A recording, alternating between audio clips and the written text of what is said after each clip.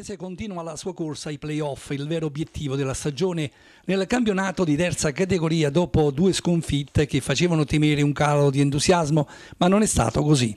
Ne sa qualcosa un decimato Pietra Melara che ha perso malamente sul campo di Dragoni con un punteggio pesantissimo, 6 a 0 Già nel primo tempo la Dragonese aveva chiuso la gara e aveva dimostrato la sua supremazia contro un Pietramelara che comunque è uscito a testa alta da una gara difficile già alla vigilia. Ed ora vi lasciamo alle interviste di fine partita fra il consueto siparietto della squadra di Mister Marra, assente per motivi di salute e più volte invocato dalla tifoseria. Prego la regia di mandare in onda le interviste e seguire ai protagonisti della gara e sentiamo che cosa ci hanno detto. Allora, dopo due brutte sconfitte, oggi è arrivato un eh, risultato alla grande. Rotondo, sì, eh, dopo le due sconfitte, una fuori casa e una in casa con Piana e Treglia, abbiamo fatto una bella prestazione in casa e quello che ci aspettavamo dai nostri ragazzi, una bella una bella soddisfazione per quanto riguarda il risultato. L'obiettivo rimane sempre lo stesso, quello dei playoff. Per ora ci siamo alla grande. Inaspettato, fino a, fino, a, fino a, sei mesi fa non esisteva niente di quello che vedete qua. Quindi abbiamo creato questa, questa realtà, un progetto che è nato quest'anno con la speranza che possa andare avanti, anzi sicuramente andrà avanti con altre cose. Un breve messaggio, un saluto al mister. Un saluto al mister sicuramente, anzi la prima cosa, un saluto al mister eh, per una pronta guarigione.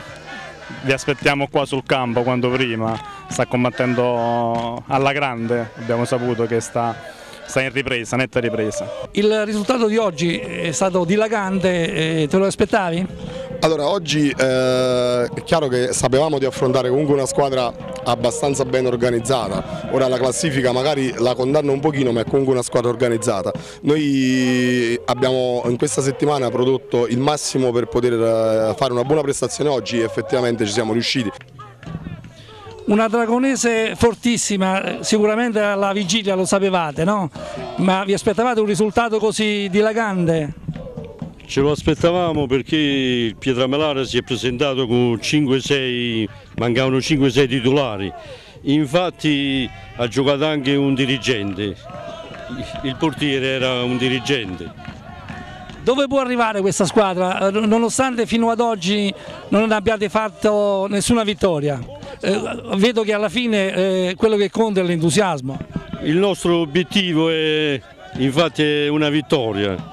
Come spiega questo entusiasmo così forte per questa squadra? In fondo è una squadra di terza categoria, anche se i risultati alla fine stanno venendo. Sì, allora Ultras Draghi è un gruppo di ragazzi che credono nel, nel, nel proprio paese, cioè Dragoni, e anche se è una terza categoria noi siamo uniti, cerchiamo di fare uh, il massimo per il nostro paese, con ideali e chissà qualche nuova... Qualche qualche possibilità per il futuro?